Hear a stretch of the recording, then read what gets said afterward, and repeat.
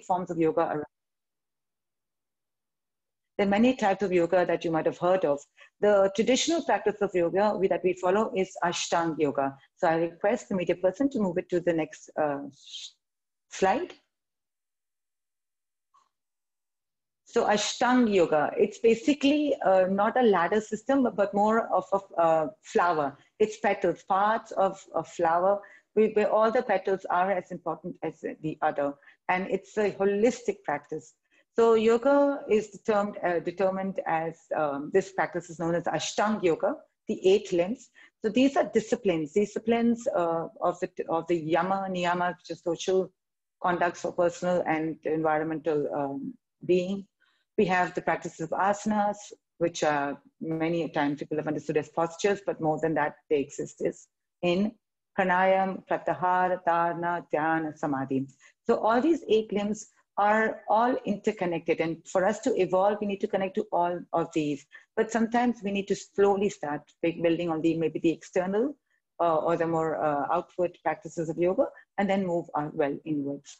So we'll just move on to the next slide and to see how these Ashtanga yoga practices can be used. So yoga for mental health. So um, if you've noticed, when anybody has a mental issue, they say, um, the first thing they will say is the word, I'm stressed. Stress is a very important word, okay? And stress is a risk factor in all the mental disorders. So it could be a variety. It could be mood swings. It could be unipolar, uh, bipolar um, feelings or emotions. Uh, many often use anxiety, uh, depression that we also had heard yes, last week from our resource person. There are other sleeping, uh, there are other disorders that we tend to overlook, like sleeping disorders, eating disorders, and um, OCD, obsessive uh, compulsive disorders, and many more. All of this uh, bring about changes in the mind. So how does yoga help? Well, all yoga components, all of these components allow and reduce stress effectively, helping in elevating all mental disorders. So we are not just connecting to one, but all of them. So we'll move ahead to see how it really works. What is the mechanism of how yoga works on the mind? So let's understand the mechanism. Moving ahead towards the next slide. Okay. So there are two approaches uh, that generally work in the practices of yoga. So the first approach that if you see, it's the top to down. So basically from the mind to the body. It is known in the scientific term as neurocognitive approach. So the practices of yoga may increase your emotional regulation and subsequently influence brain and nervous system activities. So I'm going to request you all, just for a moment, uh, how, what does that mean? Just you can type it in. When you are stressed, when you are uh, disturbed, okay, uh, what is happening uh, generally? What happens to you? Do you become, you could, you can just type in a few words if you don't mind. What happens when you are stressed? Just anybody can just type in one or two words. When you are stressed, when you have a little bit mental disorders or not disorders, mental activity, hyper uh, mental activity, what happens to you? Look forward to seeing the chat. Okay. Staying alone, you feel like staying alone, not in the mood to do anything. Correct. Very good pimples, yes, this hormonal changes that take place. Heartbeat, yes, your, your all cardiac activity picks up. So all of this is happening. So when we're doing the yoga practices, thank you so much for this one frustration. I very good. Mild headache, uh, beautiful response. So this is the fact that you all are aware of this is happening is wonderful. Many a times we ignore, we suppress this, we don't know what, and then suddenly it comes out in spurts. So being aware is also very wonderful. Worried. So let's understand back to where practices of yoga increases emotional regulation. So when we're doing yoga practices, you'll be mostly told to, uh, if it was for the practice of asana or anything, notice the way you are um, breathing, the sensations that are happening around you.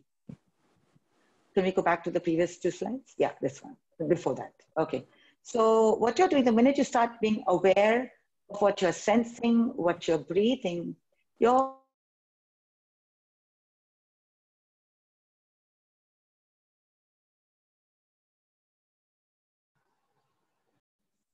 Ma'am, you're on mute. Okay, I'm sorry, it's not how that happened. Okay, am I audible now? Am I good? Can I get a thumbs up for? Yes, ma'am. All right, thank you. I'm sorry. I did not know how that happened. So if you were just uh, going back to the top bottom uh, approach, so what is happening is that the minute we're doing yoga practices, we are focusing on what we are sensing and the way that we are breathing. The minute we do that, all other matters take a back seat. So all these stresses and strains take a back seat. And this is how yoga helps from the top down because first we start working on the emotions the emotions become in somewhat control and the emotions start to work on the brain and the nervous system so you have much more control the second approach that yoga uh, uh, offers or it works uh, in within us is the bottom up approach and that is called the neuro psychological approach so what does that mean so basically we're connecting to the vagal tone vagal tone vagal is a vagal is a nerve, is a cranial nerve, which is connected to the parasympathetic nervous activity. So your parasympathetic nervous activity, in very simple terms, is your rest and digest. So if you're in a calm, rested, digestive way, you can handle things, you can control things, and it automatically deactivates your sympathetic nervous system, which is your fight and flight. Yes, we do need fight and flight, but not all the while. We don't have to be on edge all the while. There's a reason, there's a time that we need to be there. So generally we try, should try to be in the parasympathetic nervous way. So yoga works in that, in that way. And something else that works on is the activity or the hypothalamic pituitary axis. So basically that is your adrenaline uh, flow. So adrenaline uh, glands work on a stress hormone, which is known as cortisol. So if this cortisol level goes high, in the body, we are more stressed. So if you can allow the body to uh, do uh, practices of yoga, the components of practice of yoga, if you can reduce this uh, um, act, uh, this sympathetic system and activate the parasympathetic system, we will be much more in control. So we'll go to the next slide and to see uh, what are the more some of the components of yoga. As I said, is just a few components we'll be able to connect to because of the time that we have it available with us. But the component I've taken is asana because this is one of the most uh, commonly uh, seen um, components of yoga that uh, many are familiar with. So yoga restores the lost balance of the body system due to the mental problem because when we are um, having mental problems, the homeostasis, the balance is lost. So the first thing asana does brings that harmony back into the system. So uh, a stress affects the muscle tone, as we talked about earlier, because um, we are tense, our muscles become uh, rigid. And so the various asanas helps us restore this muscle tone, relieving the tension. So as you notice very often when you go for an exam, your, butterfly, your tummy gets butterflies, or you want to use the loo, because the muscles are playing up. So if you are doing regular practices, this control over these uh, muscles would be more in, uh, in check with you. You could connect to them easier. The other factor that you, you would mostly uh, observe is during stress, the breathing gets affected. Uh, when you're stressed, your breathing becomes happy, uh, rapid. So these asana practices also help in breathing as well as pranayama practices because they allow the structure where the breathing apparatus exists to work productively. And we connect to the abdominal breathing, which is a wonderful, very important uh, breathing technique that we should be always connecting to abdominal breathing, normal breathing. Asana practice also involves body awareness, control movements, and breathing awareness. So these are just some of the uh, benefits, uh, the way asana, component of asana works on our mental health. So we'll move ahead to the next slide. All right. Um, static asanas? Well, they train the neuromuscular system to relax and increase neuromuscular coordination and balance. So many often, uh, you might, today also the session that we'll be having, we will be connecting to static asanas, but we will also be connecting to a little bit of drama, uh, dynamic asanas, which we will talk about when we're doing the practical session. But the key factor here is that the static asanas, they increase our neuromuscular nerve and muscle coordination and balance. And of course, as everybody says, when I do my yoga practices or any type of workout, you you feel sense of happiness because they secrete happy hormones. Some of the words that you might have heard of uh, serotonin, um, endorphins, and uh, a few more. So we'll move ahead to the next slide. Okay, the second component here that, that we are going to be connecting to is pranayam. So the key of these practices, pranayama, is the, our vital energy or the vital force. So when it gets into the body, we get a lot more energy.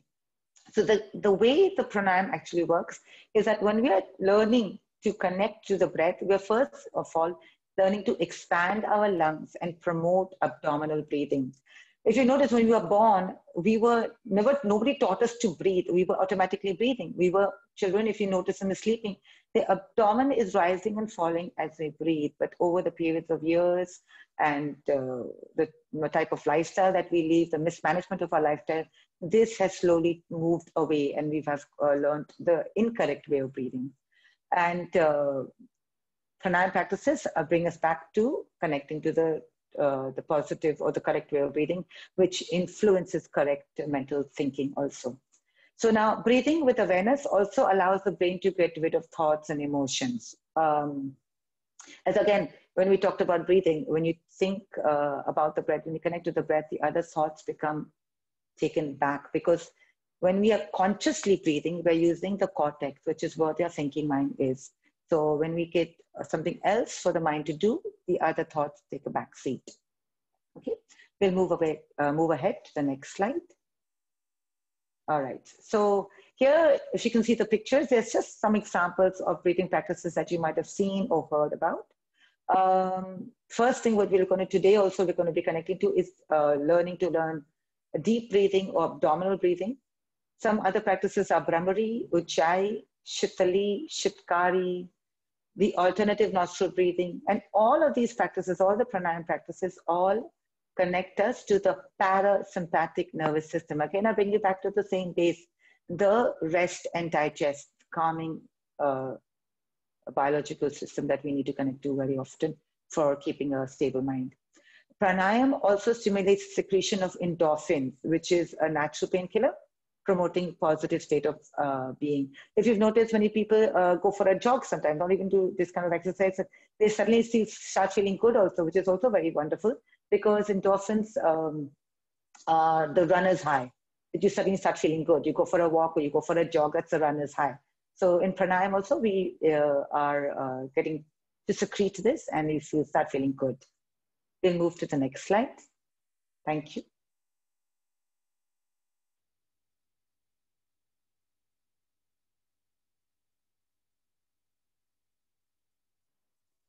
as I've said, this is just a little, a brief understanding, just a little touch of what and how yoga works on the mind as well as the body.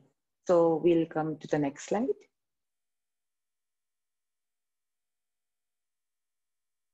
All right. The other yoga techniques, uh, very often, if you've noticed, many, many individuals, and rightly so, that uh, people really enjoy the practice of Shavasana although at the beginning you might really love it and it is right we should like it but later on if you notice people start to skip it which is not actually correct.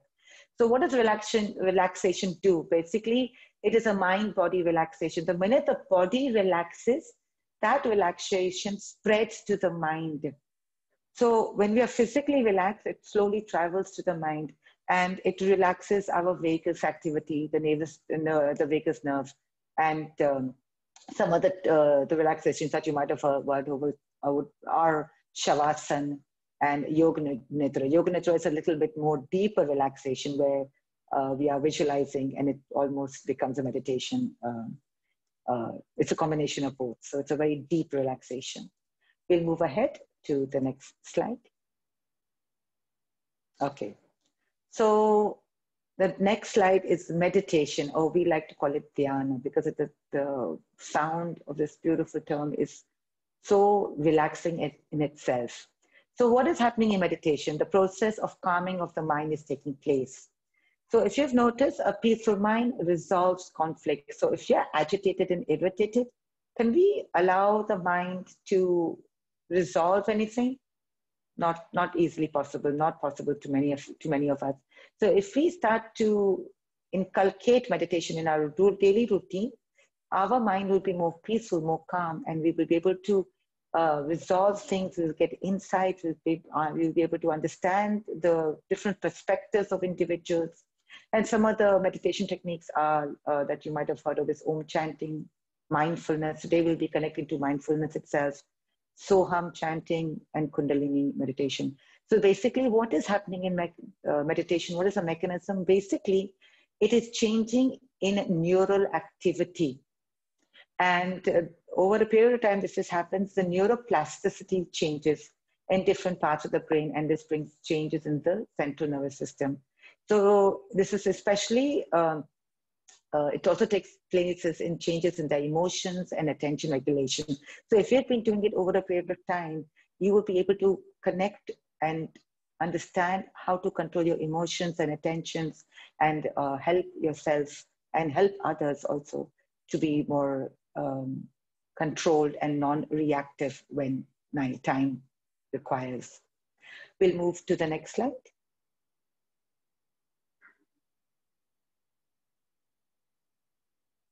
Okay, and this is basically just a little information about me. But uh, there is a reason why I have put this lotus at the end. Let's me um, just take a note of that little lotus because we'll be talking about it at the end in the question answers, if possible, if there's time permits. So from here, I will request uh, the media person to kindly stop sharing the screen. So then we can connect to the second part of our wonderful uh, webinar, which is a practical session. So uh, I will need to adjust my uh, viewing so that we can get a better, bigger view of the mats.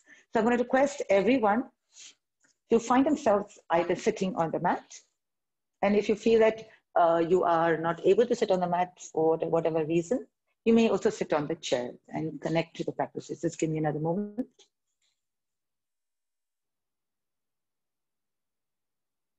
Okay, so I'm going to take it a little back. Okay.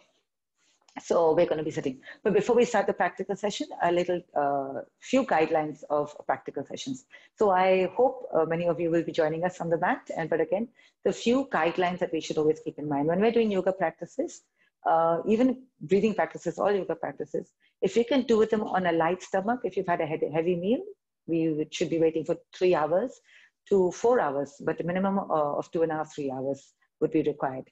Um, we're going to be doing the practices according to our capacity. Uh, so please don't overdo anything, uh, and there's no competition. I'm, I've requested my friend, I've introduced my dear friend uh, and my colleague, Ms. Vijaya Bhatia.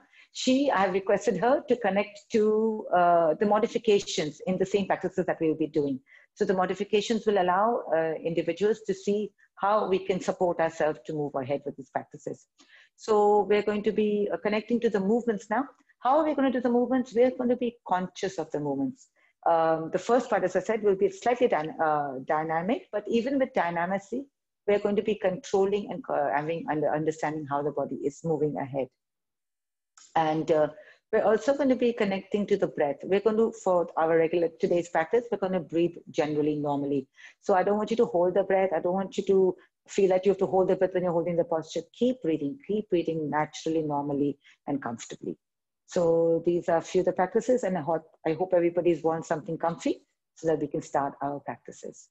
So I'm going to go a little behind, which I'm going to request you to also go a little more behind so that we're both in the screen. All right. Yeah. So the first practice that we're going to be connecting to is uh, centering, and we're going to be starting with three omkars. So please come into a comfortable cross-leg position. It can be Sukhasana, it can be um, Padmasana or just a simple cross-legged. We're going to place the hands on the knees and we're going to allow the use of a mudra. Mudra activates the mind more. So place your thumb and index finger to a gentle touch. Allow the other three fingers slightly straight. And just allow yourself to let the eyelids close. So don't force your eyelids to close, just allow the eyelids to gently come to closure. From here, take your attention to your spine. See if there's length in your spine. Allow yourself to sit gently tall. Let the shoulders be relaxed. Relax your face. And here we're going to take a few deep breaths and start with the Om. So breathe in and breathe out. Preparing for the chant, breathe in.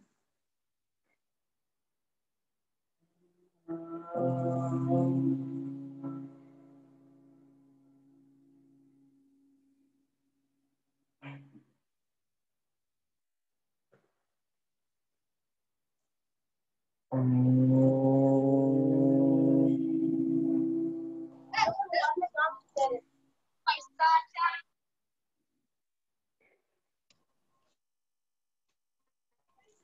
नहीं अभी बस हो गया वो आ जाते समझ गया ना मिलते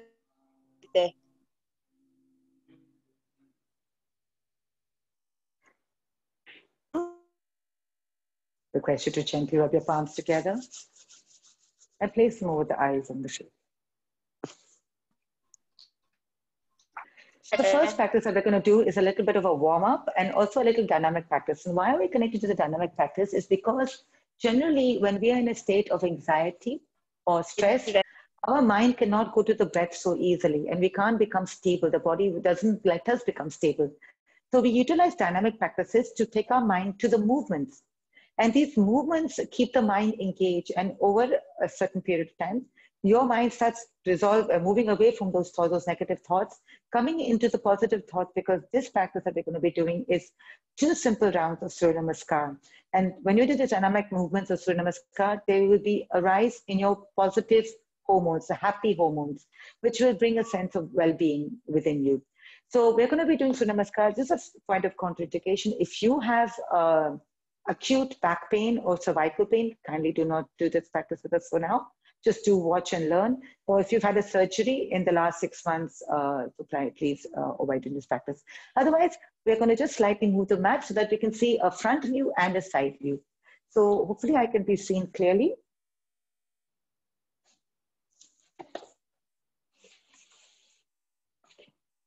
All right. All right. So I hope everybody's with us. So just a little note, I'll just. I think when I, have to move it back up, please forgive me for this change of position once again, but wanting to connect to everybody to see everything, all the practices. So as you can see both of us, we are standing in the front part of the mat. So uh, prana, uh, Namaskar basically uh, is, uh, the traditional Surya Namaskar is made up of 12 uh, practices, practices asanas, which are interlaced beautifully with the breathing.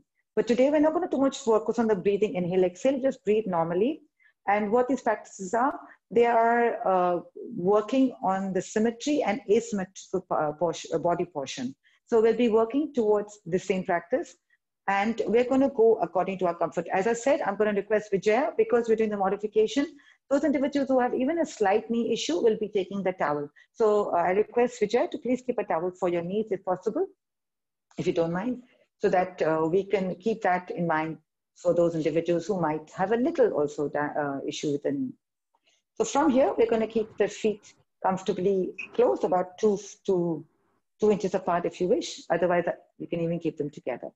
Now, standing tall in our body, we're going to take the first movement. Inhale, we're going to Bring our hand to Namaskar.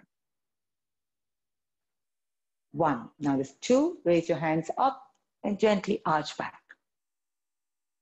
Three. We're folding forward and we're going to take the hand to feet posture. Four. We're going to place the palms on the ground and take the right knee at the back and right foot at the back. And we're into the runner's pose. Look up with your head Five, both legs at the back, we're moving into the plank. Look a foot ahead, ahead of you. Six, gently place your knees down and place your chin and chest on the earth into Shashtang Asana, the eight limbs on the ground. Seven, we're going to slither up in front into the cobra, feet comfortably close to each other. Look up. Eight, we're tucking our toes in and we're going to come into downward dog so just allow yourself to lengthen. There will be a little tightening at the beginning, but that's okay. Allow the hamstrings to lengthen. Nine, right leg comes back between the two palms, left knee on the earth, look up. 10, both the feet in front, hand to feet posture. 11, hands rise into Urdhva Hastasana, hands and gentle arch back. And 12, back at your heart center in Namaskar. So this was the first round, which we did.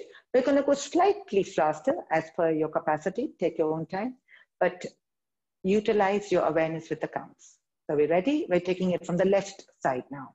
So inhale, Namaskar, one. Two, hands up, tilt back. Three, hand to feet posture. Four, left leg back, left knee on the earth, look up and runner's pose. Five, right leg joins the left leg into plank. Six, Shashtang Seven, Cobra. Eight, downward dog, the Adho Mukha Svanasana. Nine, left leg comes back in front, right knee on the earth. 10, hand to feet posture. 11, we're going to arch back. And 12, back to Namaskar. Okay. So from here, what we're going to do is that we're going to be doing these practices uh, for about four, depending how your body can take it. Remember, there's no competition. You can take four to five uh, rounds uh, at the beginning, then you can slowly build it up. And if you notice, if you do these practices, you will automatically start feeling the anxiety go down because your mind is engaged with the movements and slowly that you can build ahead. So from these dynamic movements, then we can go ahead to the static movements. So we're going to be now connecting to some practices in a static way.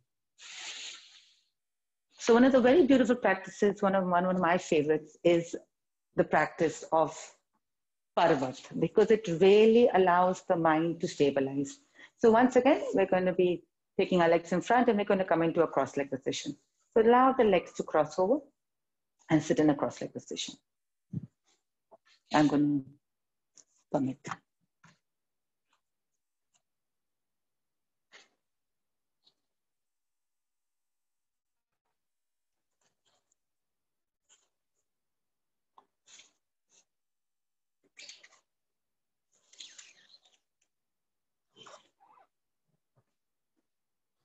So I hope everybody's uh, getting to understand how the practices are working on the mind. Not only are you listening to me, but you're also listening to yourself. See how you feel when you're doing these practices. So for Parvatasana, what we're going to do, we're going to take our hands into Namaskar first at the heart center. And again, we're going to connect to another mudra. We're going to connect to the Kali mudra. So the Kali mudra is where the pointer finger looks up and your other three fingers interlace and your thumb also interlaces at the back. Kali Mudra is a detoxifying practice. It finds length and it quietens the mind also. It detox, detoxifies the mind also. So with the inhale, bring, bring this mudra back, not back, bring it up to the head. And then slowly take it up all the way up to the ceiling. Here, I want you to allow your eyelids to close and I want you to be here for the next two deep breaths, two to three deep breaths. Breathe in and breathe out. And notice what's happening within your body, what's happening to your spine, what's happening to your rib cage. Find the expansion. And also know what is happening in the mind, what is the state of the mind.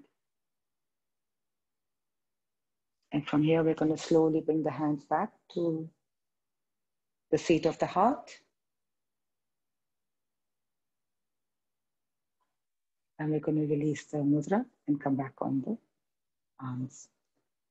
So notice how the components of yoga are working. There's the mind on the body and the body on the mind. Understand what is taking place within you, how you feel this moment.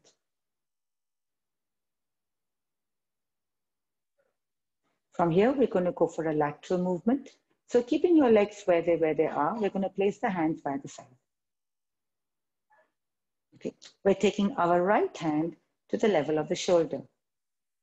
We're going to turn the palm over and then we're slowly taking it up towards the ear. Now we're going to breathe in, inhale and lengthen the right arm. And as we exhale, we're sliding down towards the left. You can just bring a little gentle bend in the elbow. And in this position, uh, turn your head to look up at your right bicep. Turn your head very gently, like you're turning a key in a lock. And notice what is happening inside the chest region, expansion of the rib cage, the intercostal muscles working. Find the deeper breath taking place. Slowly coming back in the center. Bring the hand back to the level of the shoulder. Turn the palm over, slowly return. We're going to take the left side. So let's lift the left hand up.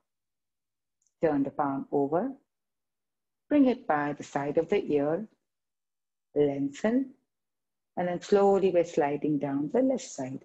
And the key is noticing the hips. So if you can be careful that you're not letting the hips rise. If you have sciatica, this would be a little difficult, so be conscious of that.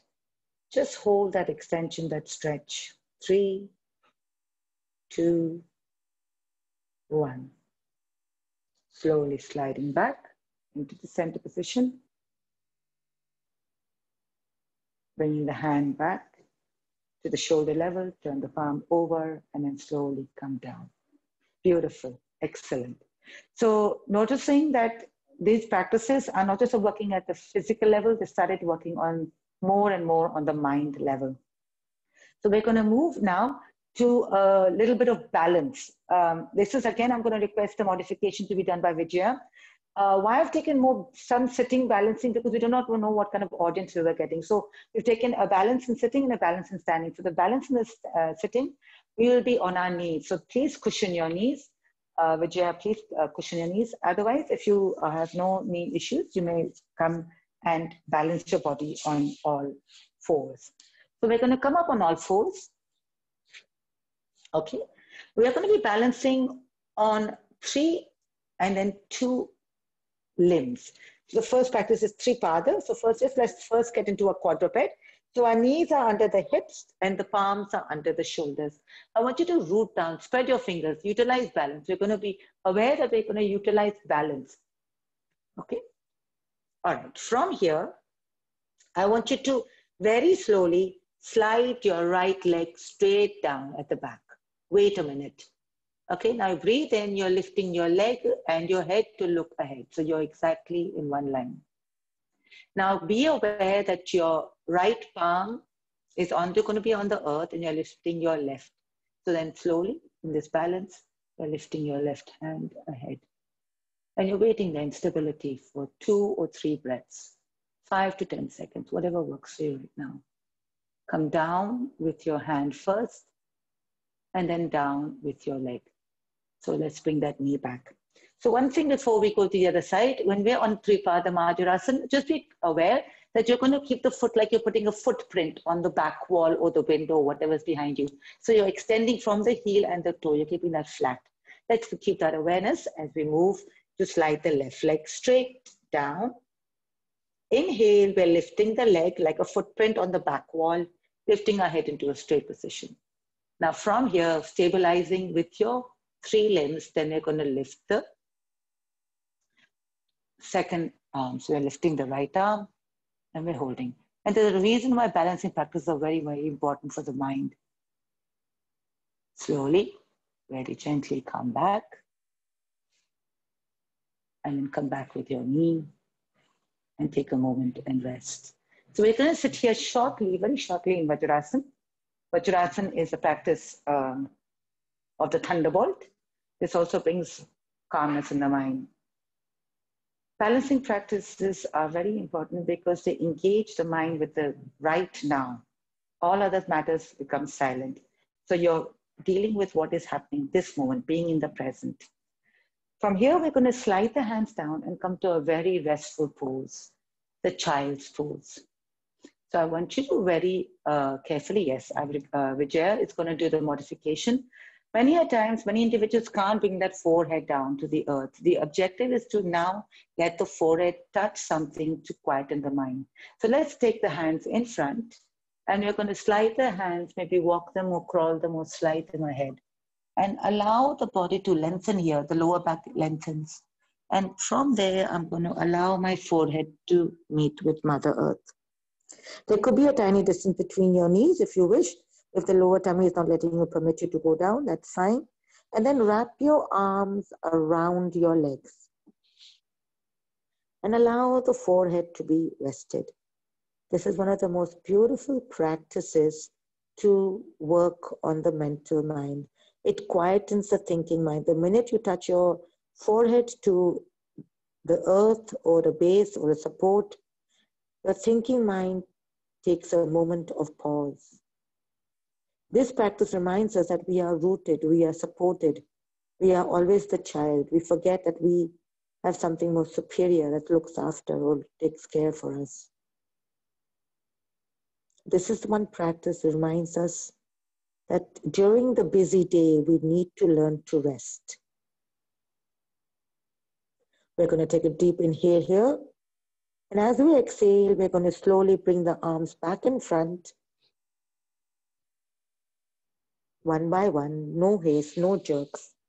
Be conscious, controlled movements.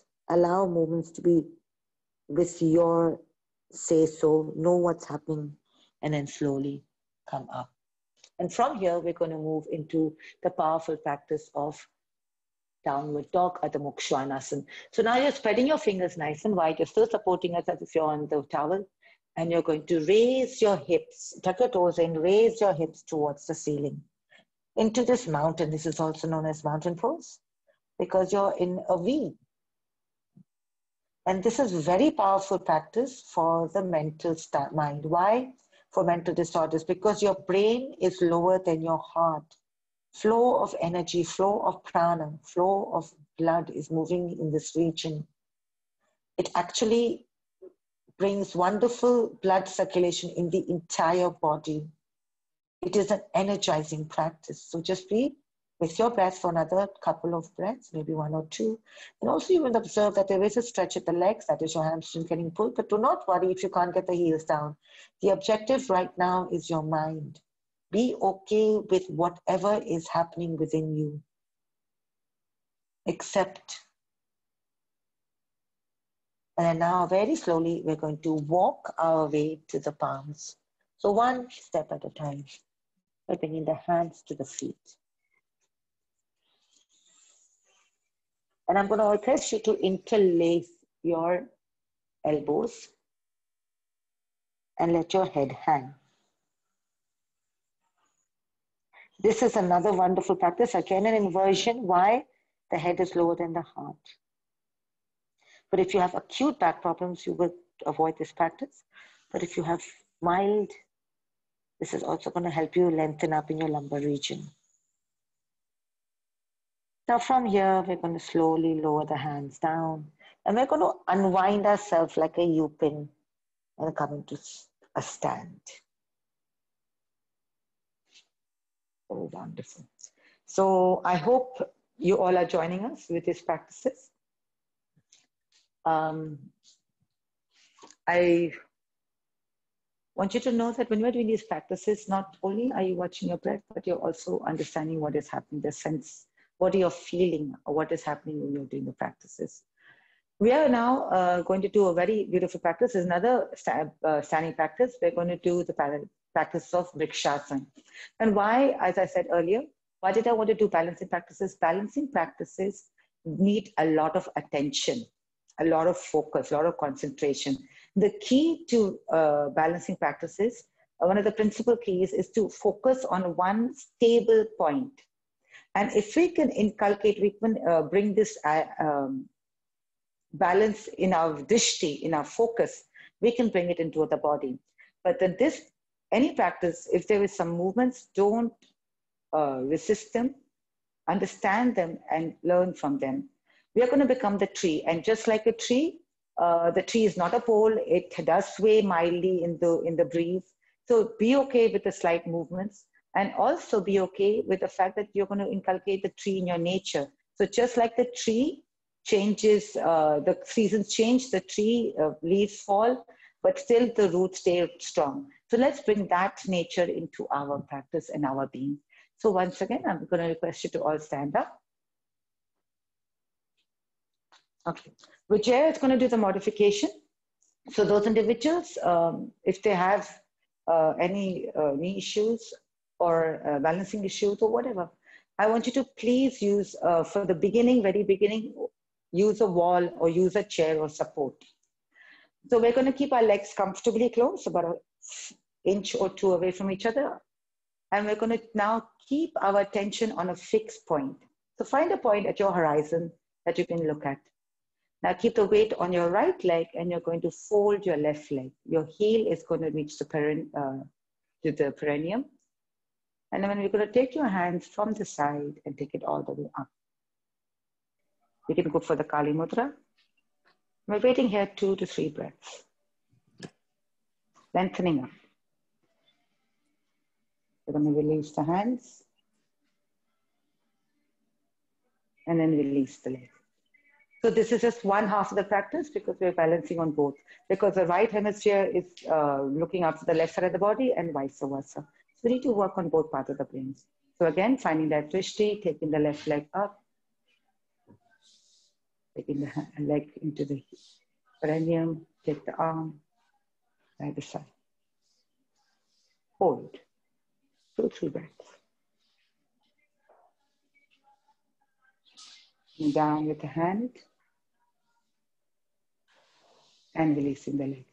So you can do this over a period of time, build from five seconds to 10, 10 to 15, and slowly, slowly, if you're a student, if you're, you're most young people, so try to see if you can bring it into a minute and see how that control works on your day-to-day life, your day-to-day living.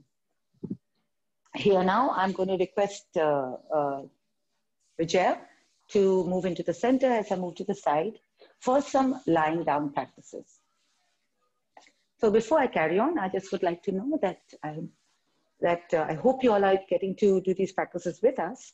Um, just a little feedback. How are you uh, feeling? I mean, if you're practicing with us, anybody is joining us, would like to share with us how are your, what is the state of your mind? Body is there. What is the state of your mind if you've been practicing with us? Feeling good, feeling relaxing, amazing. Feeling peaceful. Peaceful, very good. Controlled, that's a wonderful word that's it. That's that's the key you know conditioning control changing environment. Wonderful. Thank you. So now we're going to just bring in some cooling down practices. As much as we like to do um, uh, dynamic practices we also have to understand relaxing. Wonderful. So we are going to do first just one more practice which is an inversion where the brain is lower than the heart and then a cooling down practice. So are kindly from turn from one side and lie on your back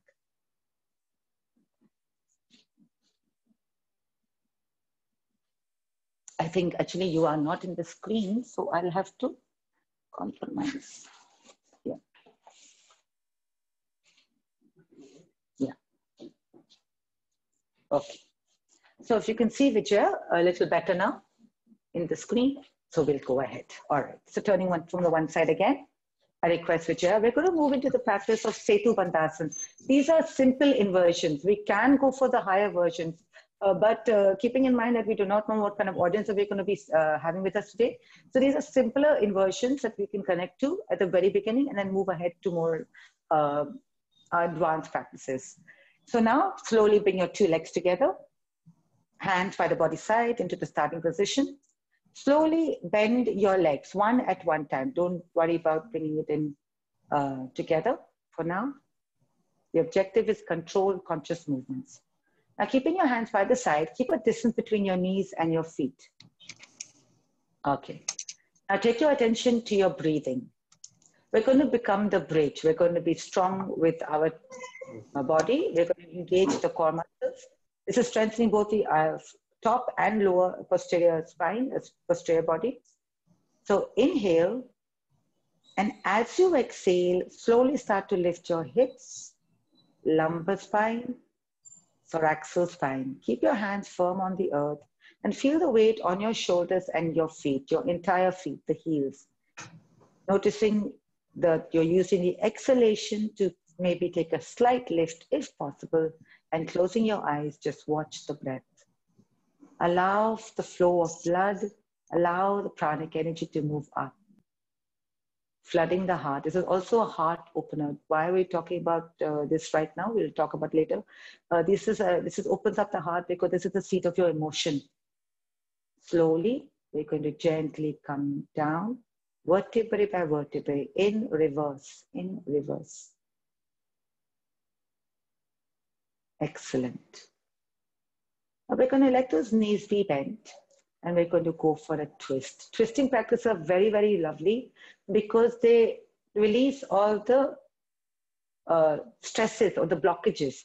They detoxify each cell level. So not only the physical, but also the mental level. So you're going to slide your hands at the level of your shoulder. So just have a look, look at each arm to see it's at the level of the shoulder. If you have lack of space, you can even place your hands under the head. So whichever is your uh, availability right now, you will be doing with that. Knees touch together, feet touch together. There are 22 variations of Kati, uh, practices, twisting practices. We're just connecting to one of them. So we're going to be aware of the breath, breathe in, and as we exhale, take both the knees towards the right. Make sure the knees are on top, the feet are on top, and take your head in the opposite direction. If you have cervical issue, just go gently with your neck. Don't overdo. And just be here with a conscious awareness of each breath. I want that abdomen to rise and fall with each breath. Lovely. Good. Slowly come back with your head in the center. And then slowly bring the knees back to the center and take the twist on the other side. So both the knees move to the left, head to the right.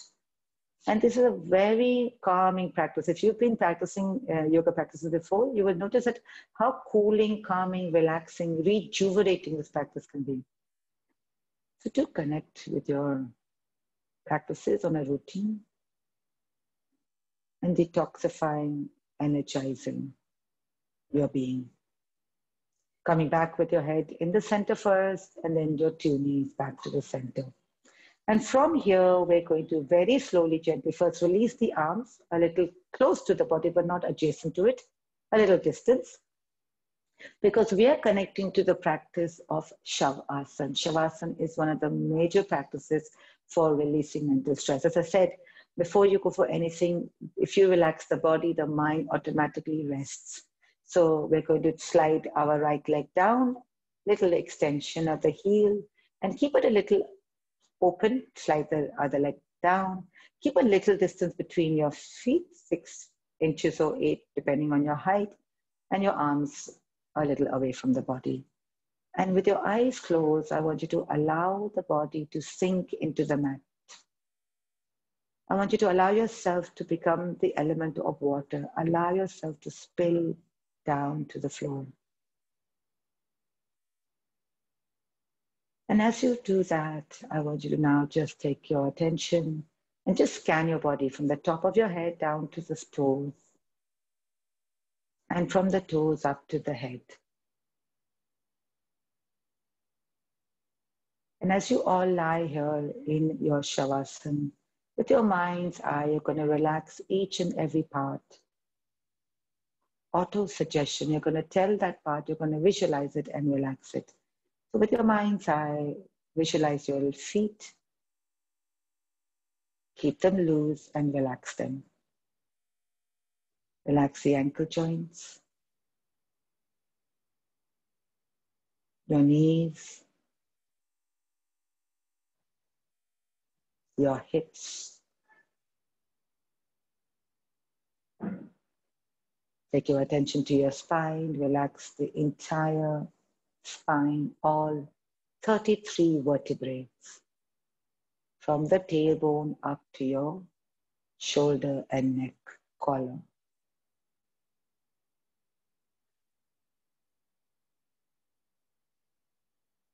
Relax and soften your stomach.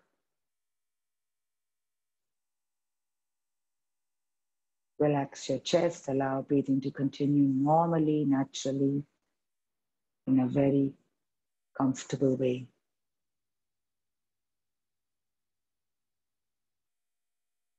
Relax your arms, even your fingers and fingertips.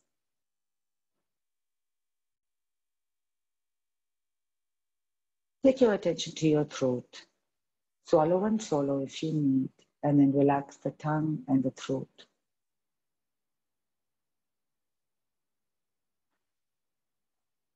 Relax the entire face, each and every feature of your face.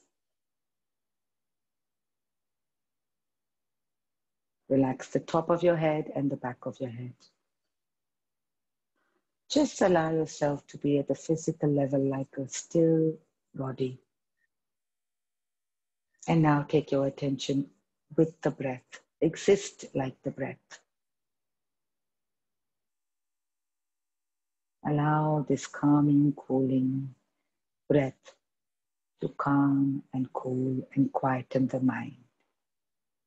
Just be here for a few moments until I call you back.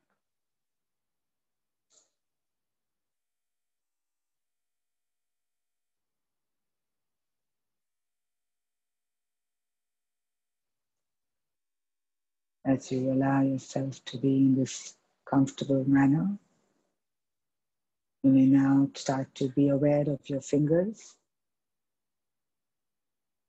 Be aware of your toes.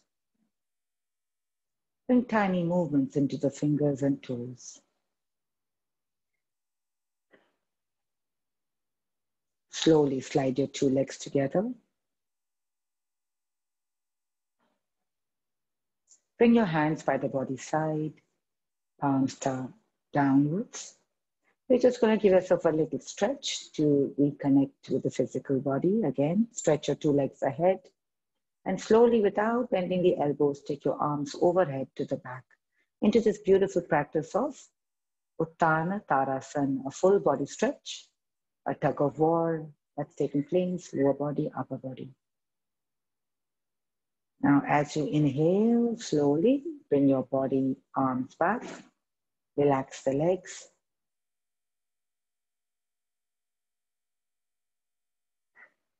And I'm going to allow you to keep those eyes closed. Do not disturb the mind too much. Gently bend your knees and turn your body to the right side. Lie on your right side. Cushioning your head with your arm. And using your left hand, you're going to push off the floor gently and come into seat. Try not to open your eyes if you can, otherwise even if you have opened your eyes, just see if you can allow them to have half a gaze. So just let them be lower.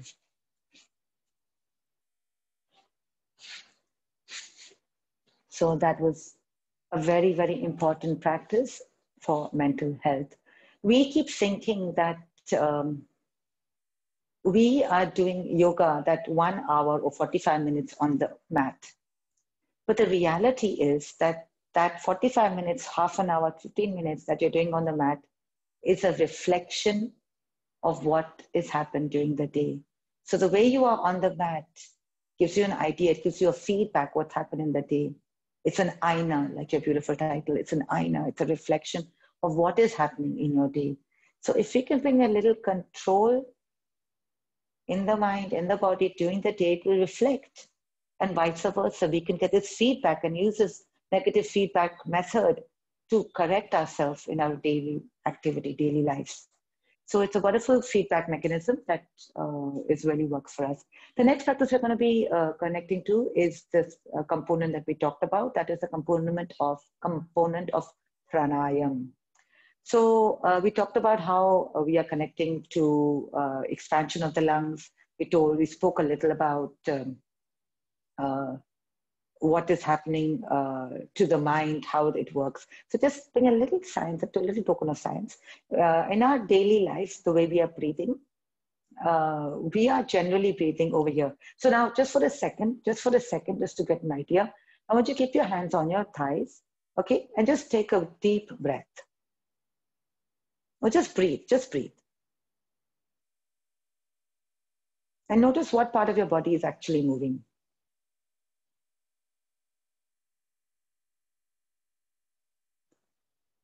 Okay. Do you feel that your shoulders were moving, chest was moving? Or do you feel the abdomen was moving? Whatever your answer is with yourself, keep that with yourself. Because now we're going to see what it should have been. If your shoulders and your neck started moving, that means you are breathing over here in your top part of your lungs, uh, which is your, uh, your shoulder, your clavicle region. If you're moving slightly here, there was movement here, that means you're maybe breathing from your chest, thorax or breathing. But ideally, we should be always trying to breathe abdominally. So what is it, uh, how does that work? So basically, um, what happens is that uh, our body is divided by a very important muscle called the diaphragm, which is the very most important muscle in our breathing apparatus. So when it's at rest, when it's actually at rest, it is in this concave way, like a C shape. So this muscle fiber exists in a C shape within our body. So when we take a breathe in, that muscle fiber contracts and becomes flat. When it becomes flat, the chest region expands, it becomes bigger.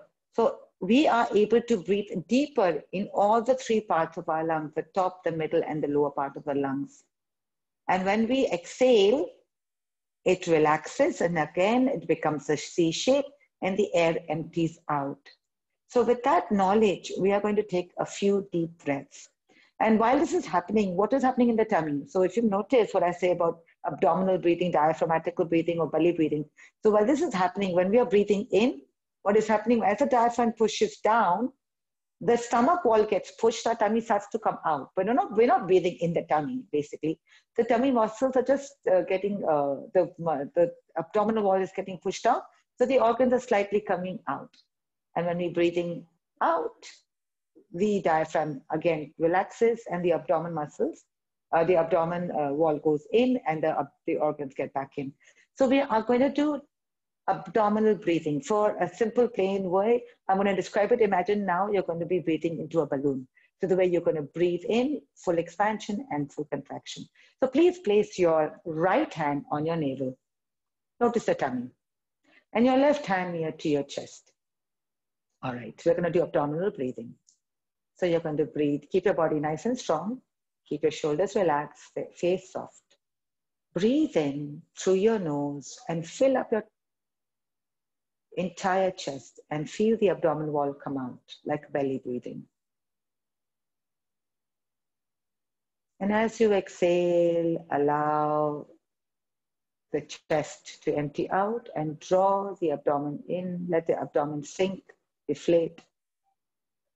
And at the very far end of your exhalation, maybe you can draw the navel inwards a little more. By doing three breaths, breathe in again. Fill up the chest, fill up the abdomen. Exhale. Notice the diaphragm is relaxing, abdomen is going inwards. Chest is emptying now. Last breath. Inhale. And exhale.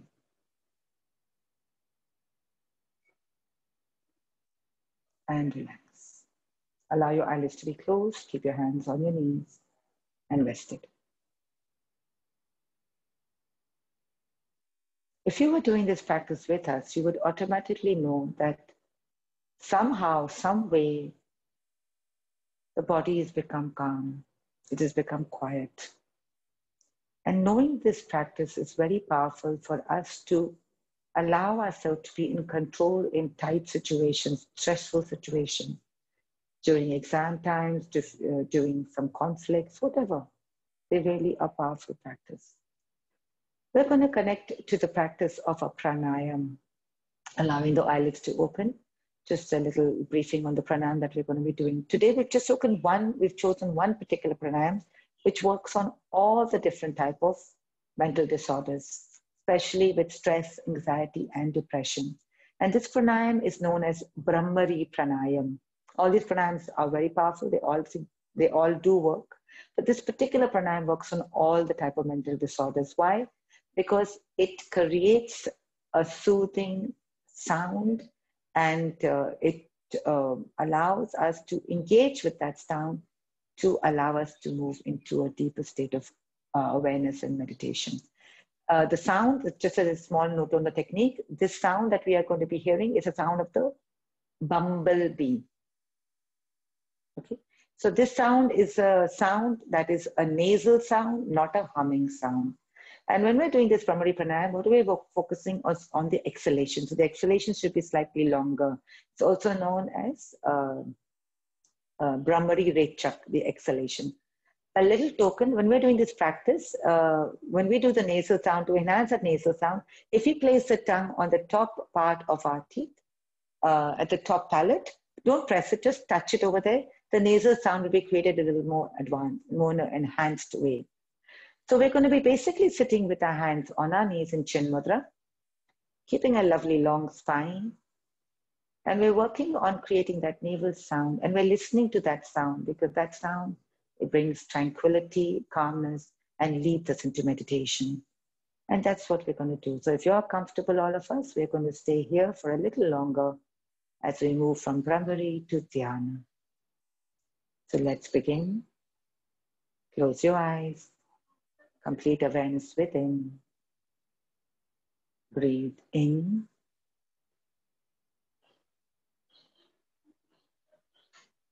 Make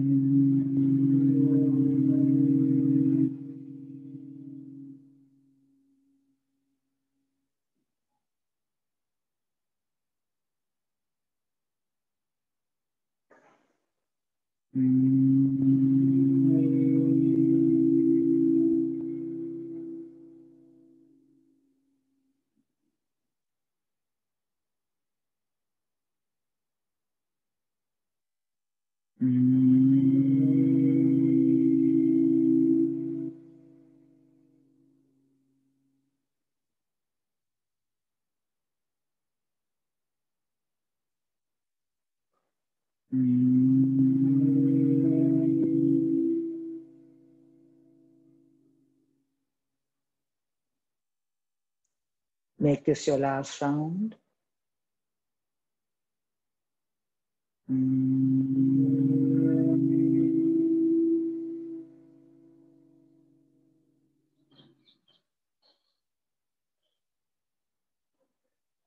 Allow yourself just to experience the resonance of this beautiful vibration.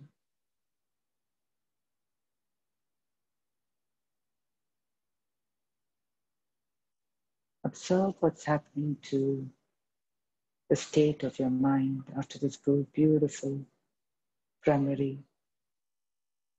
pranayam.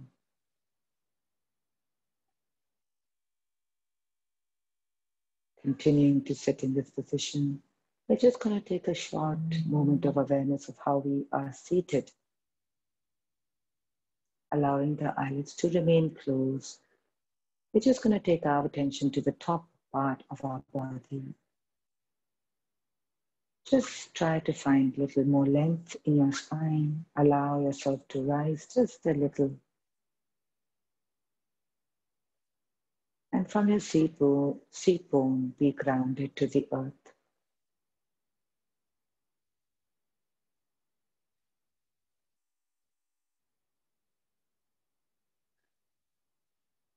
And here, just allow the shoulders to be relaxed.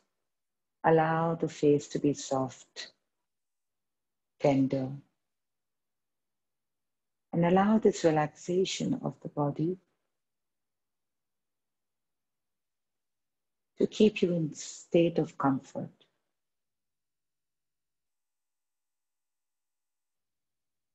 As now we take our complete attention to the breathing, to the breath.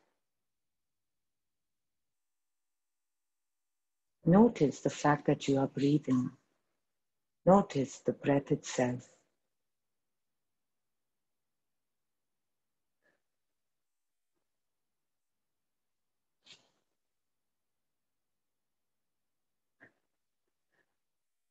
Allow each breath to fill up this abdomen, fill up this body with prana, with energy. Now, every exhalation to relax and detoxify the mind and the body.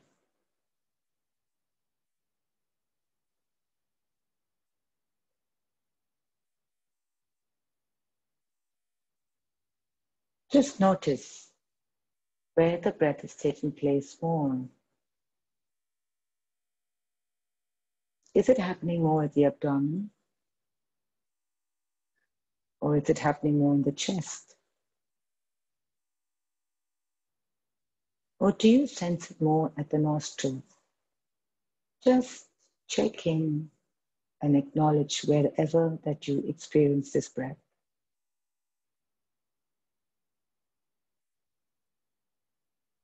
Notice the speed of your breath. Is it fast or slow? Is it deep or shallow? However it is, without judgment, without modification, continue just to watch the breath, witness the breath. Don't do, just see, just be. We are human beings. We've forgotten how to be. Just witness this breath.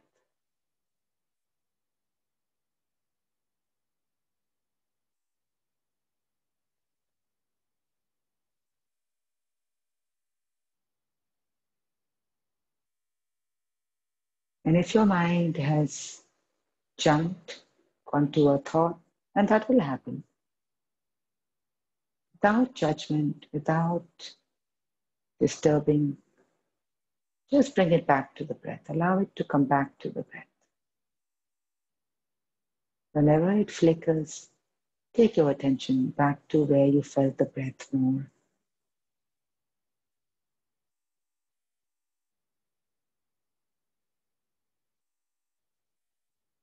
Now, for the last few breaths with awareness, allow each breath to be energy, positivity, strength, acceptance. And allow each exhalation a way to let go, the act of surrender, of release, of being okay, throwing out negativity and calm.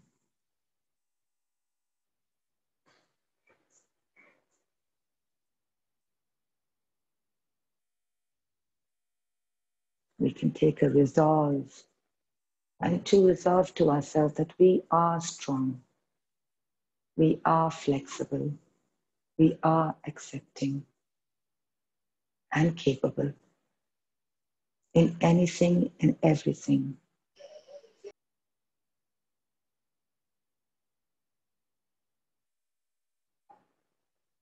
And with this resolve, we will gently bring our attention back to this body, back to the way we are sitting, back to this room that we are in,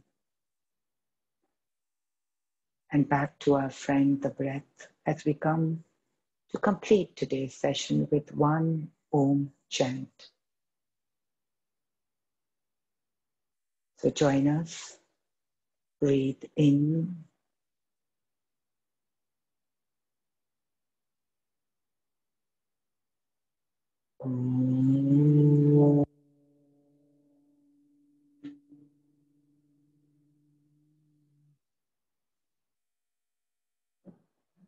Stay there.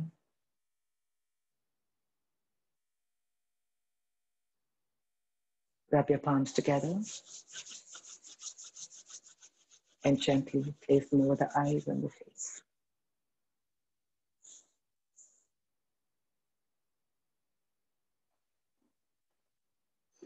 Namaste, everyone.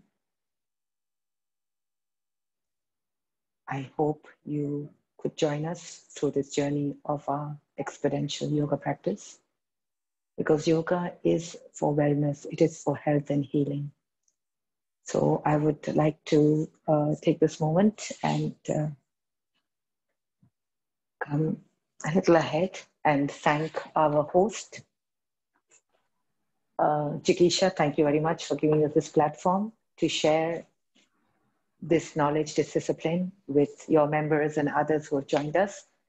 Uh, it was really an honor to be here. So we could take a few questions, um, uh, whoever would like, or your Rotary, your Rotary Club would like. So please feel free to share any doubts or how the experience was also, if that would be wonderful. Sure. I'd request everyone to send in their questions, comments, everything in the chat box so we can read it out loud. And just come a little closer. I think I have to make the camera come up again. One second. I'll just take it up. Can I hear it? Yes. I'm actually going to take off the earpiece now. So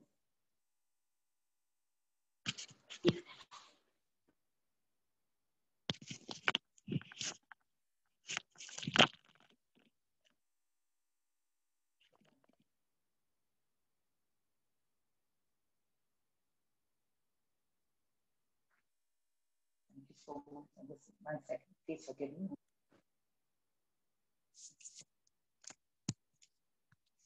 So um, thank you so much for the lovely comments. Um, can you hear me? Can you all hear us? Yes, we can. Okay, great. Because I just took off the earpiece. We have a few questions in the chat box. Okay, can you read them out? Because I think I Yeah. skipped a few. the- So Adil Yeah. says, my question revolves around addiction, which is constantly spoken about in the media. Yes. Uh, Addiction. how does that work? Okay. So um, youth today, I, we've, this is a question that's actually been asked by a few members uh, of our own uh, community. So youths today are subjected to addiction. It doesn't always have to be a very negative thing or a very taboo thing. It could be simple things like uh, um, even drinking coffee or you know addicted to some kind of uh, routine. So basically, yoga is a holistic practice. It's a holistic science. It's actually a science of prevention in nature. So if we connect to yoga practices and the different components of yoga practices, they allow us to empower ourselves to reduce this. Um, so let's understand yoga, uh, the, the term yoga was beautifully, not the term, but the, one of the sutras of yoga is Yoga Chitta Vritti Nirodha. Uh, this is the second sutra uh, from Sage Patanjali uh, that describes how we can control the functioning of the mind or the fluctuations of the mind.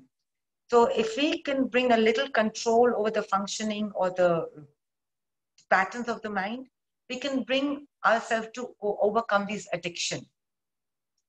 So these conditionings are caused by what? By our desires or, uh, or uh, likes or dislikes. So over a time, these conditionings become so permanent that we want it. We really want it. We, we don't know, our mind, intellect says, um, whatever it is, I want it. So what we have to do first is slowly start to get away from this conditioning. And uh, that can be done by uh, building our willpower. So first to recognize what that conditioning is and then get willpower to change it. So a very simple example, okay, this is for me also when I was, uh, when I had uh, come in from, um, from my uh, earlier lift. So I had a, a liking for coffee and I would have coffee very often. Okay. So I knew coffee multiple times if I have coffee through the day in a different climate, it's not going to be good for me. So I started telling myself that it's not good for me. I'm going to start at least reducing it stepwise, baby steps, reducing it at least once or twice a day. So this conditioning started becoming weaker and weaker, and my willpower became stronger and stronger. So it could be any conditioning. So if you allow yourself to take baby steps and start weakening that conditioning, those old likes and dislikes, which cause negative effects, you can start moving towards a positive effect. And that willpower that you have been you'll be getting over a period of time will empower you to change those addictions. So nowadays we hear about cigarettes, we talk about alcohol, it could be any type of conditioning. So the first step is to acknowledge it, to recognize it, whatever the condition, uh, whatever that negative uh, emotion and negative uh, uh, problem that you're having, recognize it, slowly start taking baby steps towards it, gain that with uh, willpower and change it. And this all can ha- this all happens when you start doing yoga practices because in your yoga practices you're empowering yourself. You're connecting how to condition. If you notice, all the the static practices are working on your neuromuscular. So you're controlling even the movement. Sometimes you know when you're sitting to meditate, you'll find an itch or you'll find a disturbance. You feel like moving your you know suddenly you just you hear a sound and you want to open your eyes. Take a second. No, I don't have to open my eyes. It's not calling out for me. Change that. Change that reactive state to bring in that conditioning, and that conditioning can be used for your um, any type of addiction that we have. So acknowledge it and then start to change it baby steps. So this is one of the ways, one of the approaches of yoga that really works with addiction. So I hope that could answer the question to a basic level. Definitely. We have one question. How long does it take to get the postures right? So this is this is one of the problem, uh, not the problem, one of the uh, words that we keep hearing. Yoga is a practice. Yoga is not perfect. So, like even medicine is a practice. So perfection is in your own eyes. It's not in what it is uh, for others. So you should slowly start building, noticing the changes that happen within you. So don't worry about getting that uh, traditional practice of what you see in the media or what what maybe our yogis do. That you will, you know, that will happen over a period of time. So it's practice. The more you practice, the more you can build, the more you can connect, and you realize that you are okay with whatever you are. That's what again what the yoga does. You accept and you uh, connect to that, and you actually evolve from that. So um, even as I said, you know, I requested Vijay to join me for today's practice because I said, you know, many individuals would have knee issues and how would they be able to cope and again to talk. So I requested her to share with me this practice. So there's no perfection, there's no competition in yoga. It's your own interpretation and your understanding and your own growth. So this yoga is not a perfection, it's a practice. So please keep practicing. Abhyas.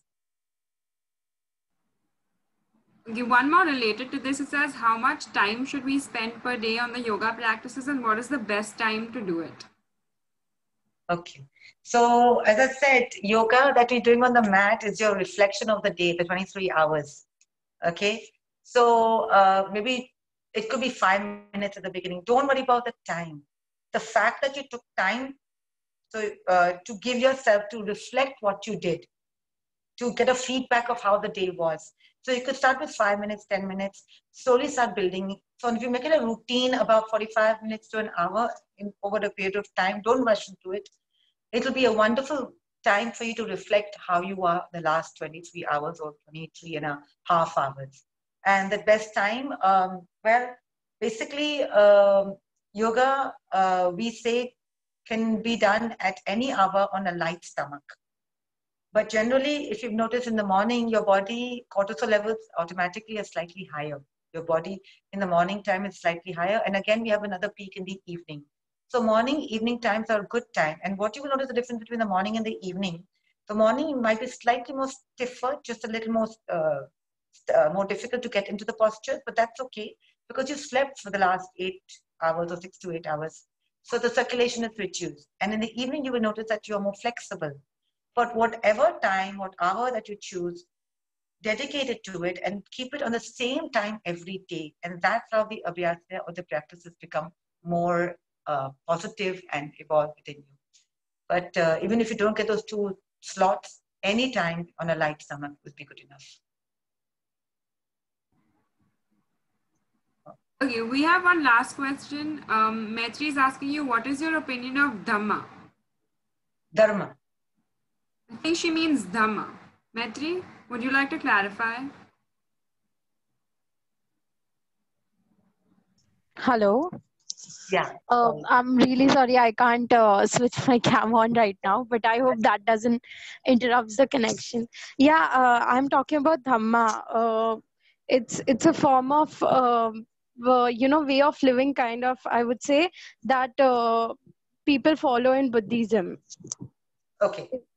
Yeah. So uh, we actually, that is Buddhism. This is uh, traditional Indian culture. So I would not be able to speak a lot about what Buddhism follows because this is more on the Indian culture. So basically, there are many paths You know, yoga has many paths So with there is karma yoga, which is the yoga of action, is bhakti yoga, the yoga of uh, devotion. So I cannot talk about Buddhism as such, but generally, whichever path that you choose, if it be Buddhism, follow it as per your acceptance. Every whichever path that you choose, whichever path that appeals to you, connects to you, follow that, and let it uh, help you grow. So I will not be able to say about dharma, but whatever path you so whichever path that you choose, the destination is the same. So keeping that in mind, uh, if you are interested in the Buddhist uh, term or the Buddhist, uh, Buddhist uh, way of connecting, uh, you would like to connect to that, it's, that's fine. But the destination, as you always remember, destination is the same. It is your univer- uh, your consciousness to meet with the universal consciousness. Because Okay. yoga is not only physical, it's actually a spiritual practice in each. Right. No, but uh, the reason I asked this is because, uh, you know, the way yoga has to do a lot with us. Like, you know, it doesn't has to much do with others or anything else. The same way uh, this path, you know, explains is how we stay with ourselves and in the present moment, which is very much similar to yoga Okay. in a way. Okay. So, like we also read today, uh, what we talked about, what what we're using classical yoga, we're connecting to Ashtanga yoga. So we are connected to the all the components that lie within us because we say in a yoga it's not a workout, instead it's a work in. So with with your beautiful uh, explanation of what was uh, the Buddhist terms, remembering that Ashtanga yoga is also the same thing. We are working inwards. We're moving out from the outside, working inwards because there's a universe that lies within, and we don't even connect to it. So in sometimes when we sit, when we start our practices, if you notice, we started with a, a few minutes, a minute of connecting with ourselves before we got into the practices. Because without that connection, we would have stayed still connected to the outside to a, to a certain extent. So I hope uh, that could uh, kind of answer your uh, query or the question that you were referring Thank you to. so much. Thank you. Thank you. So it was uh, really wonderful. Any more questions that you would like to? There aren't Okay. any other questions in the chat box. If anyone has any questions, you all can just unmute yourself and ask.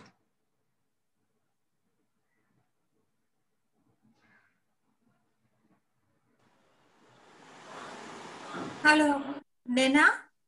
Yes. Hello. Yeah, this is, uh, Jayashri, your Masi. Oh, Hi, Masi. How are you? Nice of you to join I'm us. fine. Yeah. Okay. Uh, uh, initially, when you started, it was written about Soham. That I Yes. think it's the breathing, no? And Yes. what does uh, does Soham helps, and what is it exactly? In what way is it beneficial? Okay. So if you noticed, uh, we talked about meditation when we talked about Soham.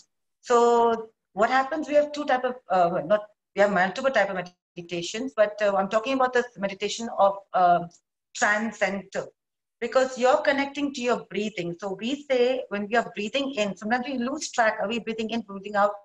Are we connecting to the breath or not? So we create this. Uh, we in our mind when we are breathing in, we say so, and when we're breathing out, we're saying hum.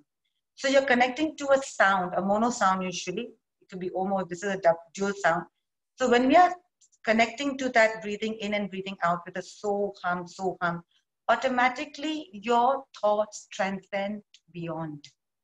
Today, what we did actually was mindful meditation. We kept our mind with the breath. We kept it bringing it back to the breath. You know, bringing it back. I said, your mind jumps, if it flickers, bring it back to the breath.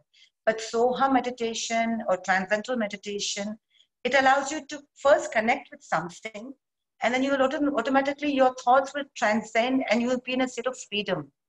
Uh, this kind of uh, transcendental type of uh, meditation uh, is a very powerful meditation, and you might be knowing two celebrities or multiple celebrities, but but uh, two that I recall are uh, Oprah Winfrey and Hugh Jackman. They connect to this kind of meditation, and they found a huge change in their lives.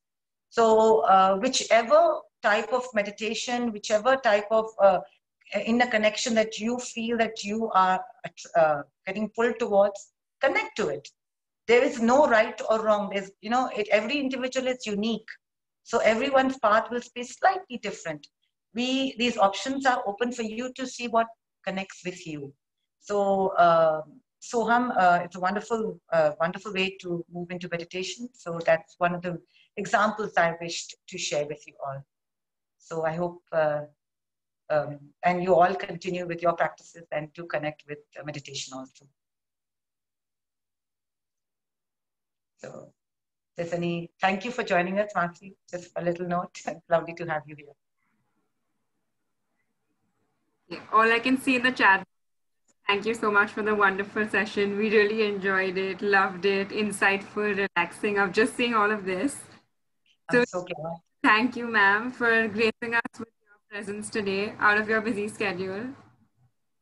Thank you to everyone. Thank you to, I have, uh, uh, Adil was my son's friend and uh, um, he suggested it and he encouraged me. So I'm thankful to him and all of you wonderful individuals to to share this knowledge and spread it. And uh, remember one key thing, just today is not a celebration of mental health day, not even 10th of October. Mental health day should be addressed every day. So if you can connect to yourself, try to work what works in within you. If, if you're going through something, don't hide it, don't suppress it, share it. And if you can offer that to others, please do. Because um, as you said, we are working, uh, we are working within, but we are also social creatures. So we need to connect to others also and share this and uh, let humanity find peace. And that's the key, peace. So from here, I would love to, like the bridge to everything. and the breath is the bridge to everything. and that is our Ayna. So your mat is your Ayna, your breath is your Ayna. So you always That's remember. true. That's so true. Thank you so much, ma'am. It was a pleasure having you. On another side note, I'd also like to thank the Rotaract Club of UPG, Rotaract Club of Khalsa College, and Rotaract Club of Bombay Pier for supporting us and making this event so successful. And once again, thank you so much, ma'am. We really appreciate having you here. Thank you so much for joining us. And thank you, Vijay, for um, uh, giving us your time. And everyone, thank you, everyone. Uh, all the participants, uh, I thank you all and uh, have a lovely day. And please continue your practice always. And remember, baby steps, don't have to jump high. Okay. Take care. Yes, Thank ma'am. Thank you so much. Hope to see you soon. Same here. Take care. Bye bye, everyone. Bye. Bye bye. Right.